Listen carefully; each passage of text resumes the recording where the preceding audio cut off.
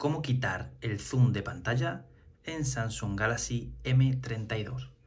Si quieres quitar el zoom de pantalla y no sabes cómo quitarlo, en este vídeo te voy a enseñar los pasos que tienes que dar, que son pasos muy sencillos para que puedas quitar el zoom de pantalla.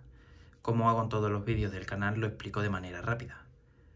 Lo primero, tienes que buscar la aplicación de ajustes.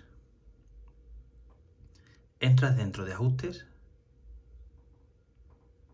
cuando estés dentro de ajustes, tienes que bajar hasta que encuentres el apartado de pantalla. Entras en pantalla. Ahora que estamos dentro de pantalla, tienes que bajar hasta que encuentres zoom de pantalla.